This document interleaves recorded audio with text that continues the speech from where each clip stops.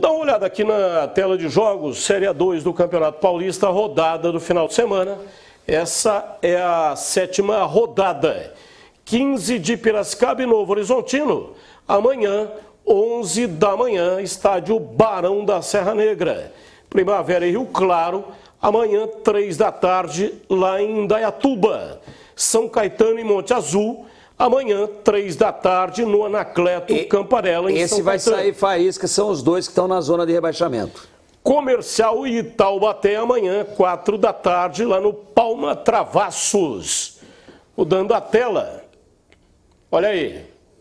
Lemense Português Santista, amanhã, 5 da tarde, lá no Bruno Lazzarini.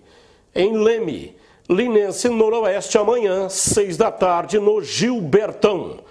Velo contra o Oeste amanhã, lá em Rio Claro, 7 e meia no Benitão. E Ponte Preta e Juventus, 3 da tarde, Moisés Lucarelli com o Leandro Boles no comando, transmite o jogo esse pela é... Rádio Bandeirantes. Esse é domingo. É, exatamente. Esse é domingo, né, no Majestoso.